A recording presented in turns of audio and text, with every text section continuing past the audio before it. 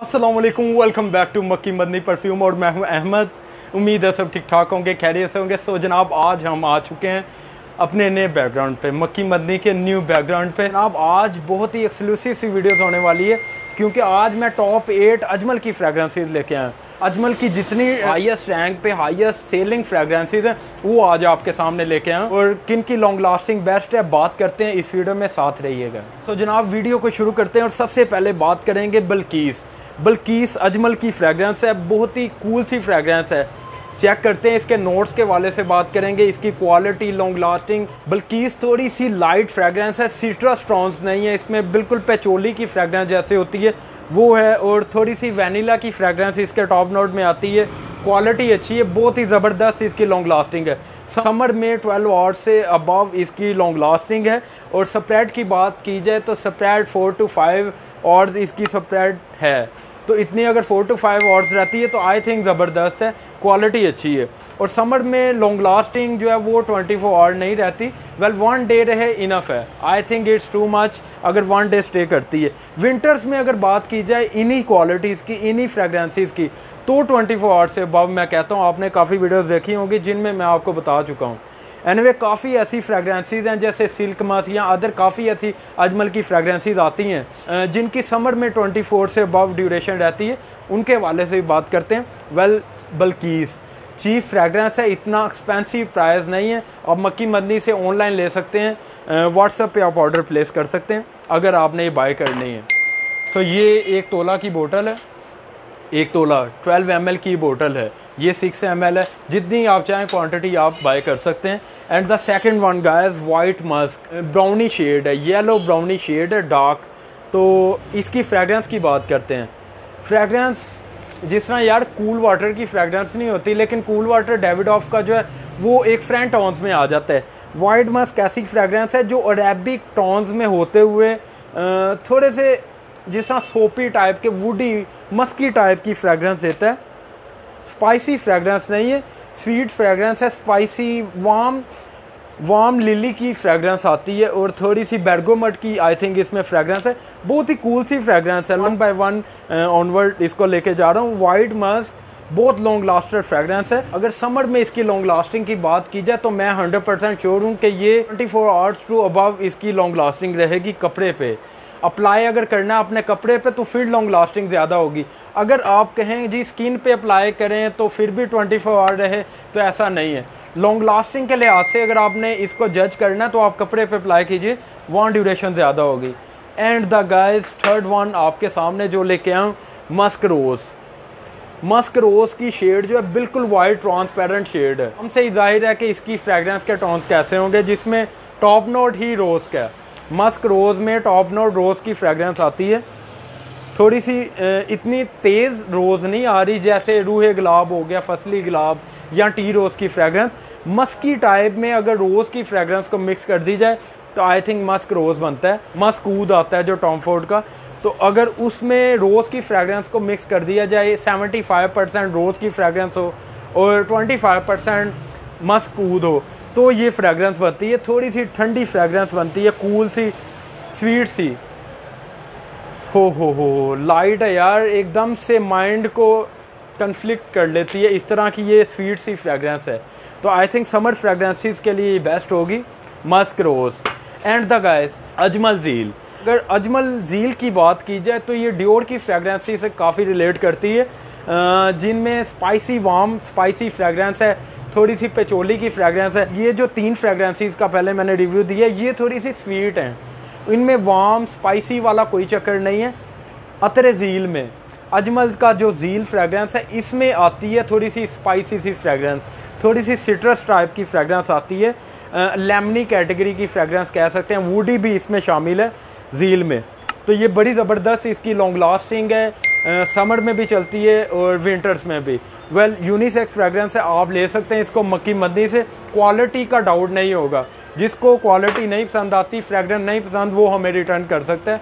और जो हमारे यहाँ पे फेस टू फेस जो शॉप पे कस्टमर्स आते हैं, वो बताते हैं अपना फीडबैक के फ्रेगरेंसीज कैसी रही मक्की मदनी से ली गई एनी वे गायस बढ़ते हैं। आगे फ्रेगरेंस आती है सिल्क मस्क नाम नहीं इस पर मैंशन सो फ्रेगरेंस सिल्क की है। सिल्क फ्रेगरेंस का मैं एक अलग से रिव्यू दे चुका हूँ। सिल्क फ्रेगरेंस मोस्टली लोग जानते होंगे। अगर बात करूँ कि कौन सी सबसे बेस्ट फ्रेगरेंस है जो फ़ेमस फ्रेगरेंस है अजमल की तो वो जनाब सिल्क मस्क की है। बहुत ही स्मूथी टाइप की फ्रेगरेंस है बिल्कुल लाइट वेलवेट मस्ट टाइप की फ्रेगरेंस आती है। इतनी शार्प फ्रेगरेंस नहीं है टॉप नोट इसका आता है थोड़ा सा रोज़ का। थोड़ी सी रोज़ से बढ़ते बढ़ते हार्ड नोट इसका थोड़ा सा वेल और स्वीट हो जाता है। वैनिला कैटेगरी की फ्रेगरेंस बन जाती है। थोड़ी सी स्मूथी मस्की वुडी टाइप की फ्रेगरेंस है। समर फ्रेगरेंस के लिए आई थिंक बेस्ट होगी। मैं एक कस्टमर का फीडबैक आपके सामने शेयर करने वाला हूँ। एक हमारा कस्टमर है, जो कि प्रोफेसर है कॉलेज का प्रोफेसर आई थिंक वो अभी उससे मेरी मुलाकात हुई दो चार घंटे पहले मक्की मदनी की मेन ब्रांच पे। तो उसने मुझे फीडबैक दिया, कहता जी, मैंने जनाब दो ही फ्रेगरेंसेस रखी हैं, जिनमें सबसे पहले सिल्क मस्क है। सिल्क मास्क, अजमल का, जो मैं स्किन पे अप्लाई करता हूँ। मुझे उसने फीडबैक ऐसा दिया, कहता है जी, जब मैं क्लास में अंदर एंटर होता हूँ ना लास्ट वाला स्टूडेंट कहता है सर आप आज लगता है सिल्क ही लगा के आए हैं। तो मैं कहता हूँ, यार, मेरे पैसे पूरे हो जाते हैं। तो उसका फीडबैक ये था, सिल्क के लिहाज से। तो कहता समर के लिए आई थिंक मैंने सिल्क मास्क बेस्ट चूज़ की है, जो अभी समर में मेरे यही काम आएगी।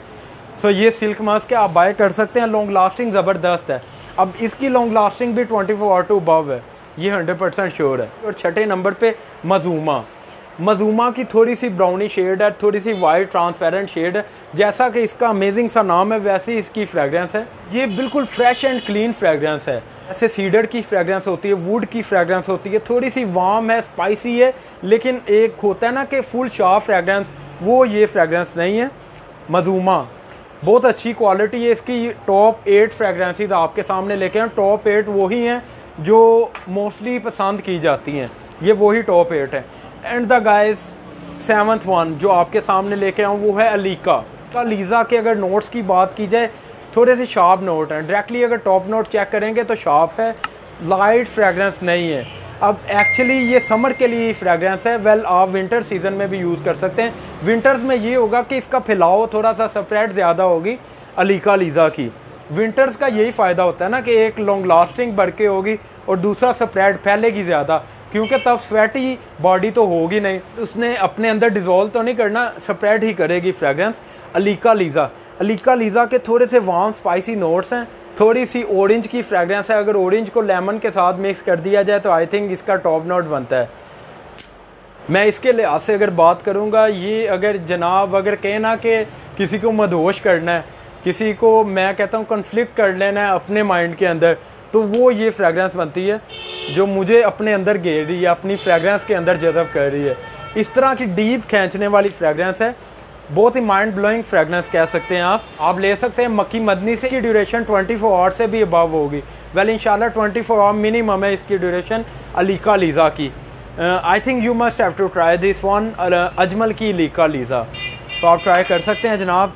और लास्ट वन आपके सामने जो मैं लेके आया हूँ, वो है जी ऊद हरमैन। अजमल की काफ़ी फ्रेगरेंसेज आती हैं, लेकिन it is one of them well हरमैन ऊद अब इनमें मैंने ऊद को ही शामिल नहीं किया तो मैंने सोचा यार आपके सामने जो लोग ऊद ज़्यादा पसंद करते हैं वुडी ज़्यादा पसंद करते हैं शार्प फ्रेगरेंसेज ज़्यादा पसंद करते हैं तो आई थिंक हरमैन ऊद इंक्लूड कर देनी चाहिए। तो मैंने इसीलिए ऐड की है, हरमैन ऊद ये भी बहुत ज़बरदस्त फ्रेगरेंस है। इसके आप रिव्यूज़ चेक कीजिए, आपको आइडिया हो जाएगा कि ये फ्रेगरेंस का यार प्रोजेक्शन कैसी है स्प्रेड कैसी है।